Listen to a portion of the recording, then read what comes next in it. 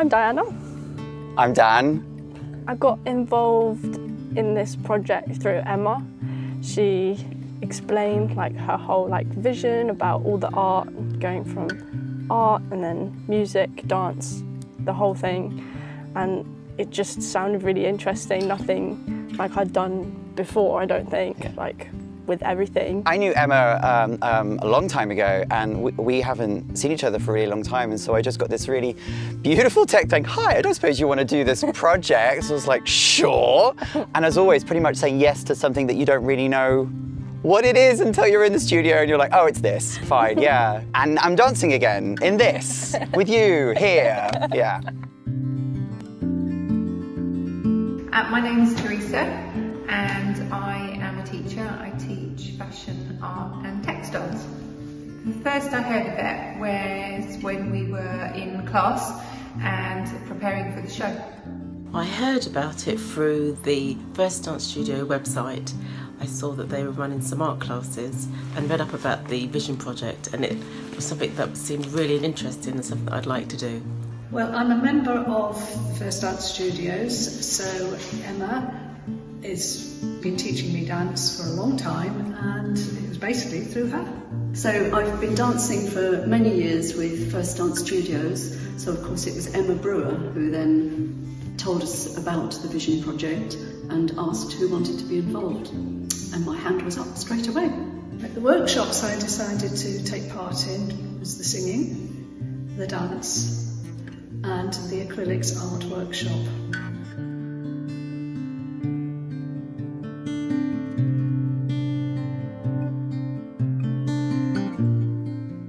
Workshops, I didn't actually do the workshops because I was doing the costumes.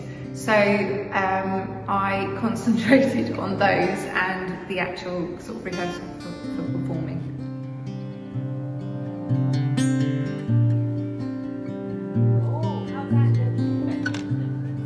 I did all of them, so that's quite a few. So I did clay, watercolours, acrylics. I also was involved in the dance and the singing. The experience I took away from them was just something, oh, just out of this world really. It's something I, for some of them, I'd never experienced before, especially the singing. And I just, an amazing experience and just really boosted my confidence in a lot of things that I've done. They're new experiences as well.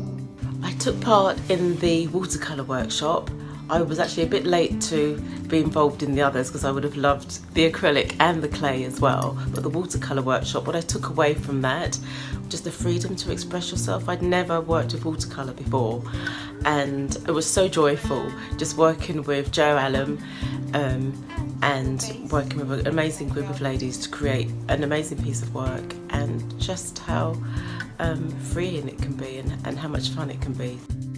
I think that was one of my favourite elements because um, I would never have in my life dreamt that rolling up some piece of sheet into a sort of rose shaped thing and then dipping it in paint and putting it on the paper would actually produce an image that was that you could then draw with and paint over. So learning techniques like that was lovely.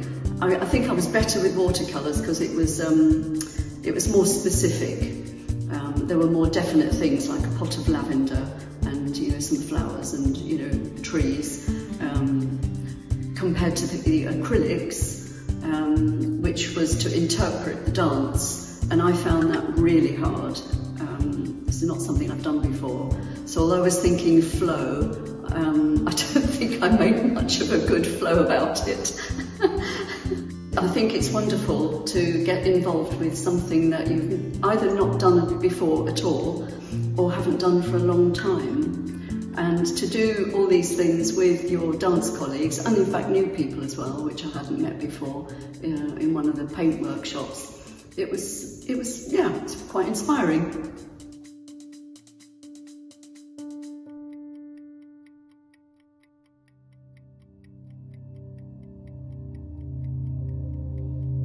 So I hadn't been dancing that much uh, before this project. So I had to consider like whether I could even do it. but it's been really nice to sort of reconnect with a, a style of dancing that uh, was pretty much how I started, actually. Because I've been working a lot more in theatre now, it's a very different style, and so Emma was like reintroducing these types of movements that I haven't done for ages, but my body was like, oh yeah, I know this. We've done this loads. So it's been really nice and, and a real testament to the body remembers, right? Like it remembers. You just know, might need a bit more time to warm up and rest, rest, lay down for a couple of days afterwards. But no, it's been gorgeous. It's been really nice, yeah. Well, to start off with, working with Emma's been so nice. She makes everything so comfortable, so easy in the room. Like, it's so encouraging and it just makes you want to work even harder. I did take part in the dance piece for the Vision Project. There's always a challenge to them, and for me, it's always remembering the piece.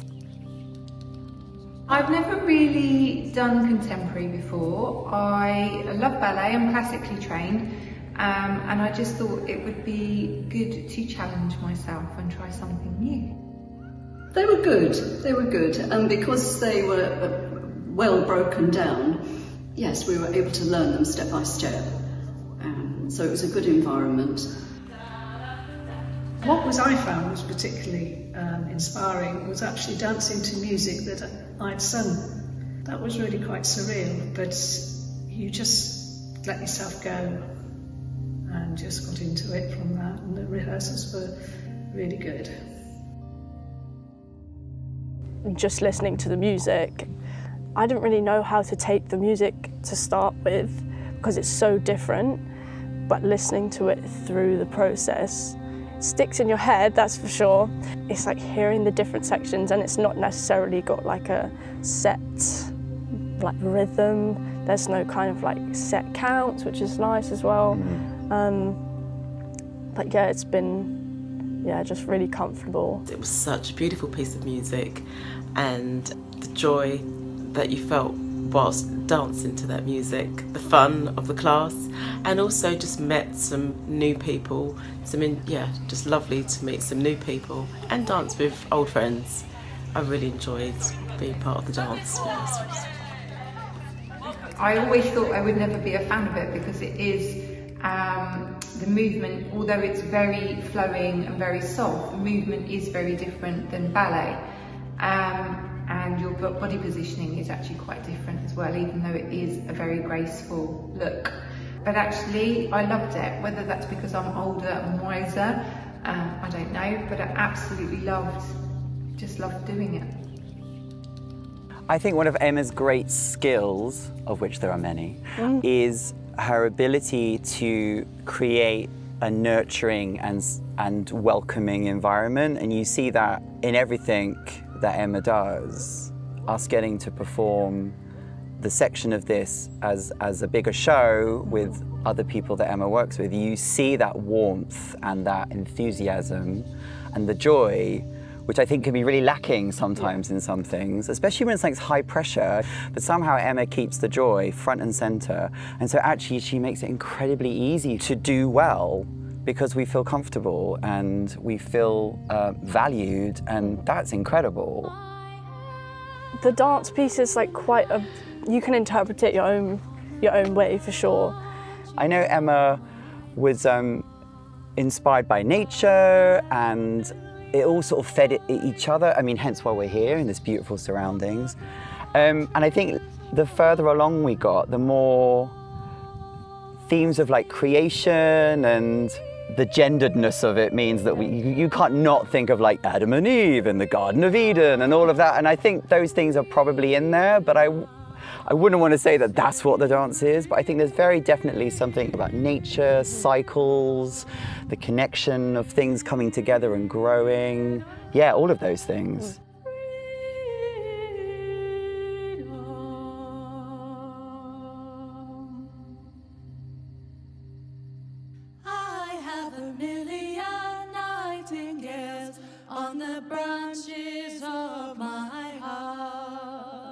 The performance in April was so many different things for me because I was choreographing as well. Throwing this one in at the end was just like an extra opportunity for me to be like, oh, I don't have to worry about anyone else here because it's not my choreography. I can just dance and do what I know I need to do. But it was really, really enjoyable because after COVID, I have not performed in way too long. I did attend the April showcase, and for me, uh, particularly watching the dance, it just brought all the emotions, which was a sense of freedom, um, belonging, and just kind of being a child again. It really took your breath away. Um, it was beautifully danced. The interpretation was amazing. It was fantastic. It was wonderful because having sung the piece of music, to then watch these two beautiful dancers interpret it and sing along to the music that we had been involved in was just lovely. I actually watched from the wings because I was on next. I was in one of the numbers that was on next, so always caught the last bit as we were waiting to go on. Uh, the music was just stunning, and just to lose yourself in that piece, it was just so calm and it was beautiful to watch. I hadn't performed for, for what, two and a half years or something. I didn't even know if I wanted to be in a theatre. So that was a whole, I didn't know what am I going to do when I walk out in front of an audience? Am I going to just walk out, nope, and just walk straight back out again? So I didn't know, but I just looked to you being all like stoic and on it, and I'm doing this yeah. and there, and boom, boom, boom, boom. And I'm like, okay, okay, here we go. If she can do it, I can do it. Come on. So yeah, it's just, it's amazing, isn't it? This, this way that we uh, mutually support each other without fully knowing the extent of what we're dealing yeah. with. But to be in a theatre with a group of people, both in the audience and so many people backstage as well, was a significant thing. Well, as we were doing the rehearsals and was listening to the piece, Emma had said about doing some of the costumes, and so I went home and I designed four pieces, um, and I made up just two mocks, sort of prototypes to see how we would feel about it. So it was a case then of looking at how many we had, what sizes people were, and I tried to fit it into three categories so that um, I wasn't having to make 30 different pattern pieces. Um, and then kept it very simple so that it was just, we were able to put it on, tie it around our necks, and they could be adjusted on the day if needed. The whole point was it could fit a multitude of people, it could flow with the movement of the dance, and it, it had an effective look and fitted with music. Filming on location, we filmed at the Harry Edwards Sanctuary, which is such a beautiful, peaceful location. It was just right for the piece. It was um, quite romantic, I would say, being out in these beautiful fields with lovely trees, views across the downs, and our floaty dresses that uh, were made for us. It was a beautiful day. It was really hot, just awe-inspiring. It was lovely, and it was just really different being filming outside rather than dancing on a, on a stage. But the downside was that it was could have been quite hazardous because it was not even ground and there were a few potholes. So it was quite strenuous on the calves. There was some challenges. We were up a slope and having to dance on a slope rather than a flat dance floor was a bit of a challenge. When we were dancing, we were on a, on a hill and we had to do some turns, and that was quite interesting, trying to maintain your balance. I think dancing on stage just feels natural because I've been doing it for so long, but dancing like with such a nice like feel and like background that probably looks better than we do. Um, I feel like you don't have to try and impress anyone when there's no one watching you. It's quite amazing to be able to do it in two totally different contexts. I think there's an excitement in, in doing something live with an audience. There's kind of a thrill that you're like, right, here we go, this is it.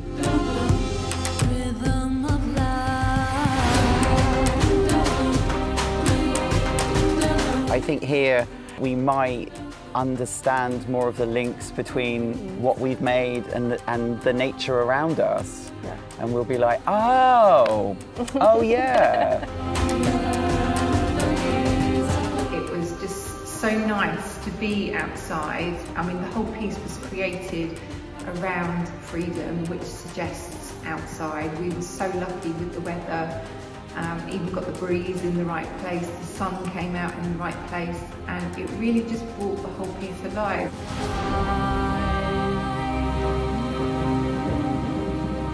Freedom to me, I always link it back to dance because it's such like a safe space for me to be in. So I think it's freedom of expressing myself through movement. It, I suppose what it's making me think about is um, art. Come on, let's get big here because it's not just us doing dance. There's like costume and painting and film and there's uh, music and singing and and I suppose you're making me think about expression in projects like this where people are invited to bring themselves to find a way to express something which may not be uh, easily uh, talked about, like now. But there is something quite utopian about this kind of ability to express and, and feel the freedom within that.